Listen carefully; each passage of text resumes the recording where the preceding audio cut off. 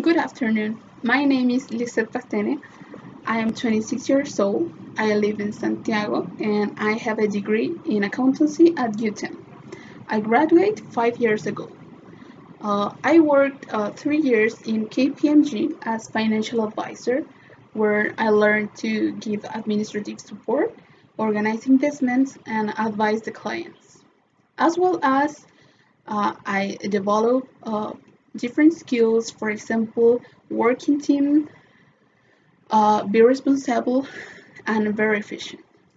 To the second year in the company, I achieved a promotion in the position of accounting analyst, uh, where I was during one year preparing and analyzing financial documents for decision making.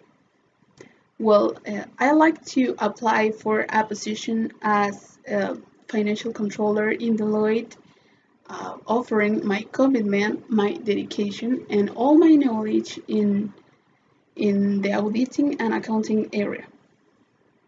Uh, I, I shall be chosen uh, because my experience will be a great contribution for the company. And if you want, contact me. Call me to 87654321 or send me an email to lispastene at gmail.com. Thank you for watching my CV profile.